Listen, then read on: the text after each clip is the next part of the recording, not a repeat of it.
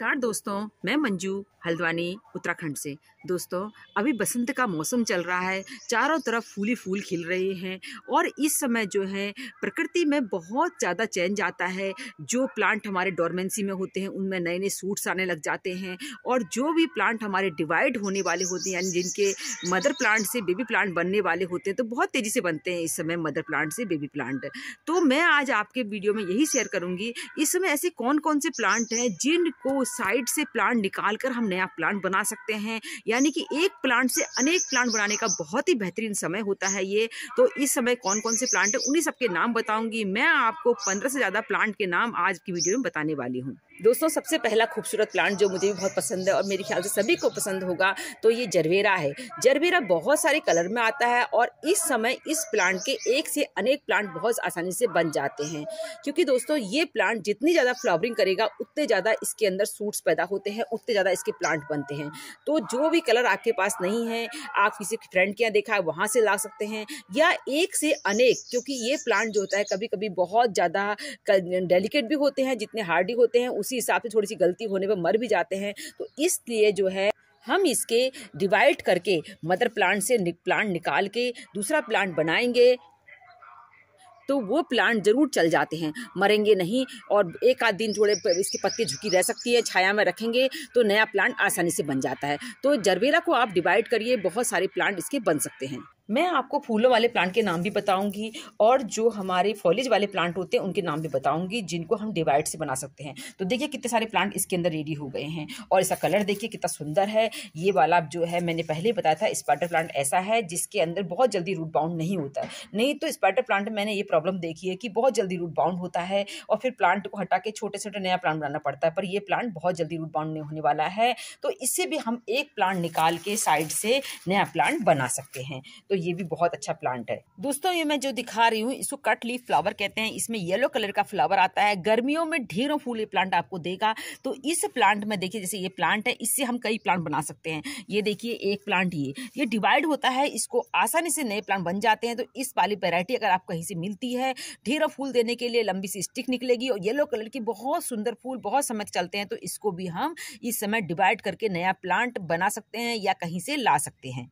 Third plant दोस्तों lemon grass है ये मेडिसिनल प्लांट होता है ये बहुत ही अब मच्छरों को भगाने के लिए और भी कई तरह उपयोग होता है। तो इसी की जो है ले, लेमन टी बनती है बहुत अच्छी खुशबू आती है इसके पत्तों को रब करने से। तो इसमें भी बहुत सारे प्लांट बनते हैं इस समय। तो कोई भी एक छोटे से स्टिक आपको मिल जाए तो इस समय जो है इसको लगाइए।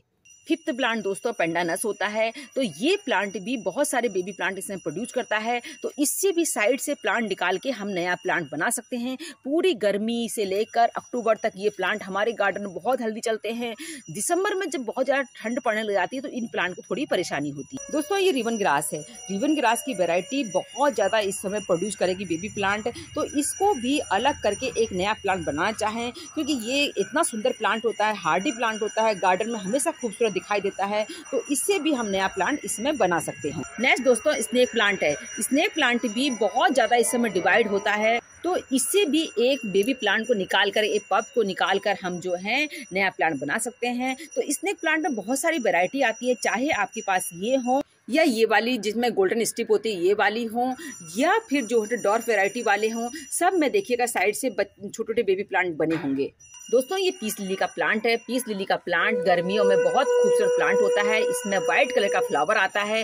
तो गर्मियों में ढेरों फूल चाहिए होते हैं। इंडोर भी रखा जाता है इस प्लांट को। तो इसमें भी जो है बेबी प्लांट प्रोड्यूस होते हैं इस समय। साइड से जो प्लांट बनते हैं, ये देखिए, एक को तोड़कर निकाल कर जिसमें थोड़ी सी जड़ आ जाए, इससे नया प्लांट हम बना सकते हैं। दोस्तों ये जो दिखा रही हूँ मैं आपको, बहुत सुंदर प्लांट होता है, कैलिथिया प्लांट कहते हैं। तो इसके भी बहुत सारे इस समय जो होते हैं साइड से प्लांट निकलते हैं। तो उनसे नया प्लांट बनाने का बेहतरीन समय होता है। ये प्लांट नर्सरी में थोड़े महँगे मिलते हैं। तो जो भी वेरायटी आपके पास है, इसको एक्सचेंज करके अपने कलेक्शन को इसमें बढ़ा सकते हैं हम। तो इस प्लांट को भी इस समय जो है डिवाइड करके तैयार किया जाता है नया प्लांट ये देखिए, इसे ट्राई कलर कहते हैं, ये भी कैलेथिया की वैरायटी है। इससे भी नया प्लांट इसमें बन सकता है। इसमें भी एक प्लांट को निकाल के अगर आप नया प्लांट बनाएँगे तो बेहतरीन तरह चल जाएगा और कुछ ही दिन में आपका ये पॉट भी भर जाएगा। नेक्स्ट है दोस्तों, ये कैना लिली के प्लांट। कैना लिली की बहुत सारी वेरायटी आती है तो इनकी डॉर वेरायटी भी आजकल आने लग गई है। ये देखिए, ये येलो कलर की डॉर्फ वैरायटी है मेरे पास तो इसके प्लांट जो है छोटे में ही ब्लूमिंग करने लग जाते हैं तो इनके भी साइड से बहुत सारे प्लांट बनते हैं इस समय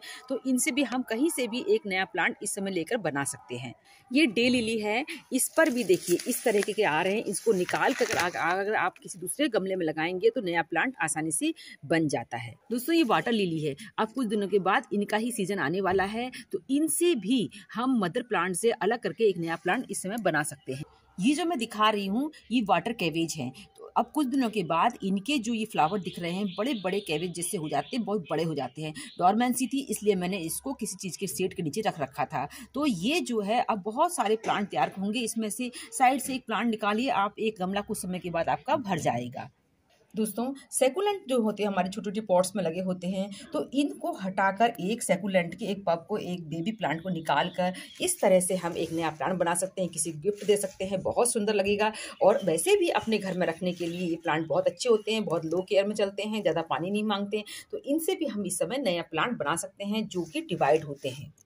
दोस्तों, ये खूबसूरत प्लांट एस्पेग्रस फर्न है। इनको तो डिवाइड करना ही ज़रूरी पड़ता है, क्योंकि अगर इनको हम साल भर में डिवाइड नहीं करते तो ये पॉट्स को बहुत ज़्यादा भर देते हैं। मिट्टी वाले पॉट होंगे तो कई बार वो टूट भी जाते हैं। और अगर आपने वैसे प्लास्टिक के पॉट में लगा है, टूटेगा भी नहीं तो वो जो है एक प्लांट में खूबसूरती नहीं रहती। इसलिए इनको डिवाइड ज़रूर करिए। इसी तरह से ये देखिए देखिए दोस्तों, ये फॉक्सटल फर्न है। इसको भी डिवाइड करके इस समय हम इसका नया प्लांट बनाएँगे। तो मदर प्लांट बहुत अच्छी खुराक मिलेगी और जो बेबी प्लांट बनते हैं, वो और ज़्यादा खूबसूरत हेल्दी ग्रोथ होती है। ये गोल्डन फर्न है। बहुत सुंदर प्लांट होता है। इसको एक बार लाएँ तो इसे डिवाइड करके हज़ारों प्लांट बन जाते हैं। किसी को देने के लिए वैसे भी बहुत खूबसूरत प्लांट होते हैं। तो इनको जो है, हम इस समय नया प्लांट बना सकते हैं। दोस्तों फर्न की कोई भी वेराइटी से इस समय नया प्लांट आसानी से बन जाता है। कुछ ही बस एक थोड़ी सी भी दो चार इसमें रूट्स आ जाएँ।